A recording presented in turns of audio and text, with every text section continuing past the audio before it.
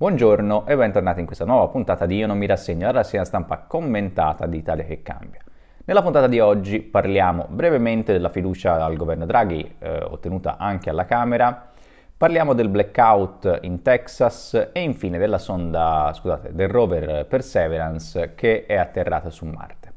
Prima di cominciare però vi volevo chiedere scusa per l'inconveniente tecnico della puntata di ieri in cui le ultime parole sono state tagliate e, e, quindi non ho concluso con la classica frase chi si rassegna è perduto, per cui per fare ammenda e anche per uh, rimettere, riequilibrare il saldo dell'universo, oggi alla fine puntata lo, lo dirò due volte. Uh, detto ciò, cominciamo con le notizie di attualità. La prima appunto è che uh, ieri il governo Draghi ha ottenuto la fiducia anche al, alla Camera, una fiducia anche qui molto ampia, sono stati 535 voti a favore, 56 contrari e 5 gli astenuti dopo che eh, mercoledì, insomma l'avevamo ampiamente commentato, aveva ottenuto la fiducia anche al Senato con il discorso che praticamente nella puntata di ieri abbiamo appunto visto passo per passo. Uh, la votazione però, anche quella di ieri, ha continuato a creare malumori uh, politici, soprattutto all'interno delle due forze principalmente rappresentate in Parlamento, ovvero la Lega e il Movimento 5 Stelle. Tre, tre dei deputati leghisti hanno votato no e successivamente hanno abbandonato la Lega per passare a Fratelli d'Italia,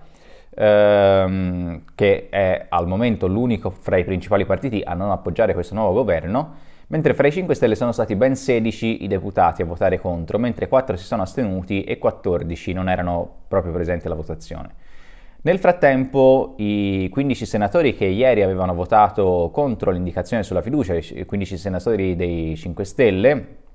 che appunto avevano contraddetto il, l'indicazione di voto ricevuta attraverso il voto online sulla piattaforma Rousseau, eh, sono stati espulsi e sembra che stiano organizzando una sorta di gruppo parlamentare di ex 5 Stelle, quindi una, magari anche una nuova forza politica vera e propria.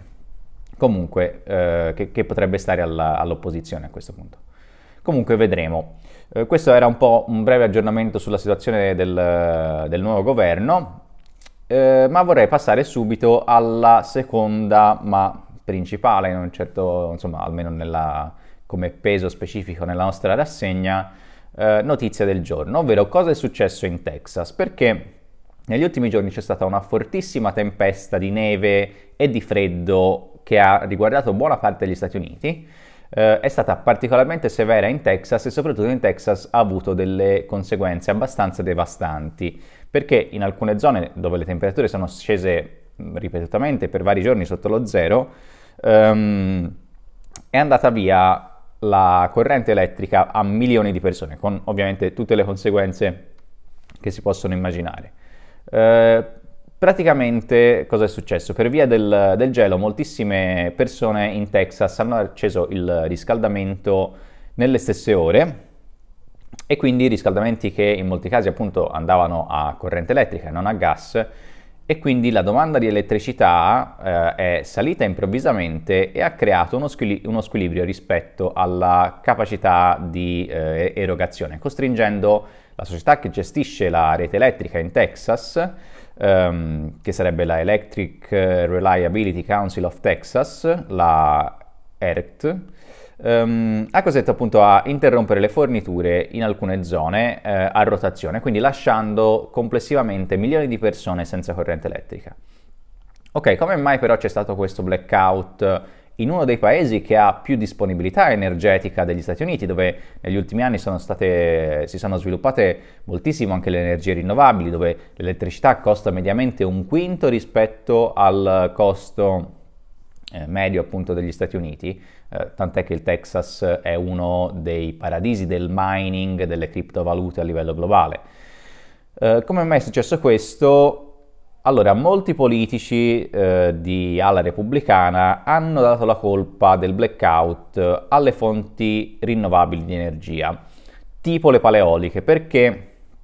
eh, con la tempesta si sono ghiacciate effettivamente molte, molte delle paleoliche e, e quindi hanno interrotto la produzione e la distribuzione di energia elettrica.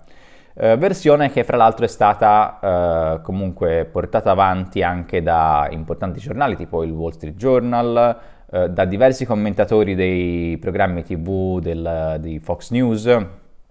e dallo stesso governatore del Texas,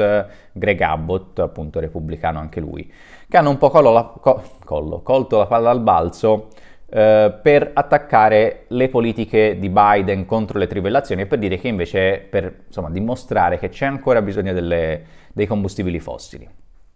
Che poi, fra l'altro, se anche fosse che la colpa di tutta questa situazione è delle energie rinnovabili che non hanno funzionato,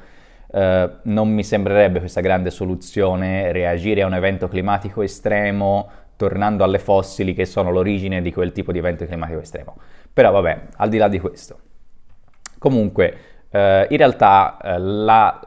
eh, sembra che non sia andata neanche esattamente così, perché eh, a quanto pare più che un problema delle rinnovabili è stato un problema di tutta la rete di produzione e distribuzione dell'elettricità.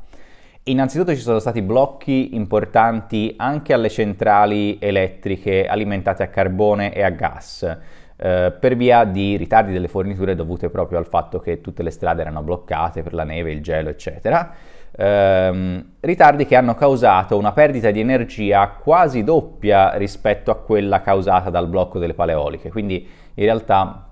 eh, insomma, è difficile anche imputare proprio la responsabilità di questa situazione alle rinnovabili. Um,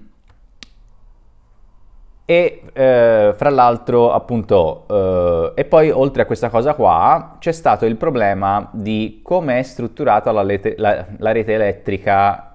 eh, texana, perché ehm, se c'è una unica società che gestisce tutta la rete,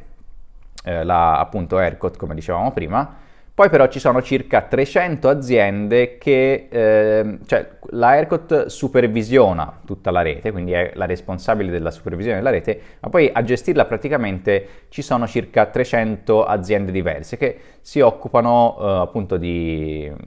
distribuire l'energia in un regime di alta concorrenza fra tutti questi attori diversi. Ehm, che di fatto spinge le aziende a mantenere i costi più bassi possibile per poter appunto accedere al mercato, perché se no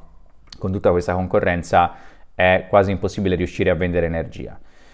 Eh, per mantenere i prezzi così bassi e offrire quindi i prezzi migliori rispetto ai concorrenti per i propri consumatori, ehm, non vengono fatte le operazioni di manutenzione delle strutture in vista dell'inverno perché si presuppone che in genere, e spesso è così, in Texas gli inverni non siano così rigidi e quindi che non ci sia bisogno di fare grosse manutenzioni perché normalmente gli inverni sono abbastanza miti. Eh, solo che, come sempre, l'efficienza, l'efficienza eh, economica è nemica della resilienza e appunto un'economia che vuole massimizzare i profitti eliminando qualsiasi forma di protezione di backup o di ridondanza eh, anche sui settori vitali come quello dell'approvvigionamento energetico finisce per causare disastri. Questa ne è l'ennesima dimostrazione. Ok, chiudiamo la parentesi sul Texas, parentesi, parentesi abbastanza lunga, eh, e passiamo all'ultima notizia del giorno, ovvero che il rover della NASA Perseverance è arrivato su Marte. I rover sono quei robottini con le ruote che quindi sono in grado di spostarsi sulla superficie di Marte in questo caso e l'atterraggio non era fra l'altro per nulla scontato perché eh, insomma la sonda che lo, che lo, trasportava doveva decelerare da quasi 3000 km all'ora a zero in soli 7 minuti che sono il periodo in cui la sonda ha attraversato la, l'atmosfera marziana che fra l'altro è abbastanza poco densa quindi eh, di per sé non rallenta moltissimo la, la velocità con cui, con cui si muove appunto la sonda e, e, fra l'altro far, doveva farlo da sola, quindi senza controlli dal remoto che potevano aggiustare il tiro se le cose non andavano, anche perché fra l'altro i controlli dal remoto sarebbero stati abbastanza inutili perché eh, vista la distanza di Marte dalla Terra sarebbe intercorso circa una mezz'oretta fra quando poi l'ordine sarebbe effettivamente stato eseguito dal, dalla sonda, quindi non sarebbe servito a granché. Comunque a parte questo eh, queste ragioni, insomma, queste complessità hanno fatto sì che finora il 40%, solo il 40% dei tentativi di atterraggio su Marte siano andati a buon fine. E anche se Perseverance era considerato di gran lunga il tentativo più sicuro e strutturato, c'era comunque una certa tensione eh, all'interno del, dello staff della NASA, Attenzione che si è sciolta quando il rover ha toccato terra, non so se si può dire toccato terra riferendosi a Marte, ma insomma ci siamo capiti, e, e quindi adesso prende il via ufficialmente la, la missione Mars 2020 che è destinata a cercare tracce di vita eh, passata e a raccogliere i primi campioni del suolo marziano che presumibilmente nel 2031 saranno portati e riportati sulla Terra da un'altra missione, anzi da un'altra staffetta di missioni in cui anche l'Italia, il nostro paese, è mm, coinvolto.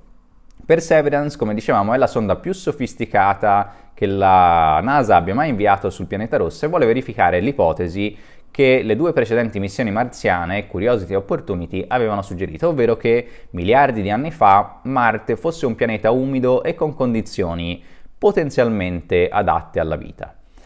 Tra l'altro c'è eh, un articolo su Wired che mh, mm, fa una domanda interessante, ovvero è possibile che con queste missioni stiamo trasportando dei microbi su Marte?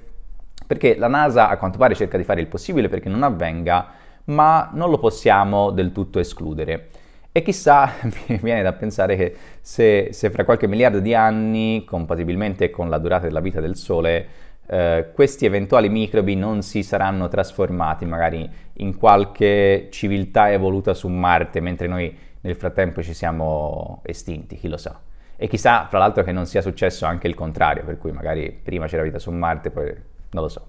Mi faceva ridere questa, mi sembrava curiosa questa sorta di staffetta della vita fra la Terra e Marte. Comunque, vabbè, eh, niente, io direi che per oggi abbiamo finito, vi do appuntamento a lunedì, perché domani è sabato, con una puntata di Mi rassegno, sempre alle 10, sempre per 10 minuti, e vi ricordo, come ogni giorno, che chi si rassegna è perduto e, di nuovo, chi si rassegna è perduto, così siamo pari. Ciao, buon weekend.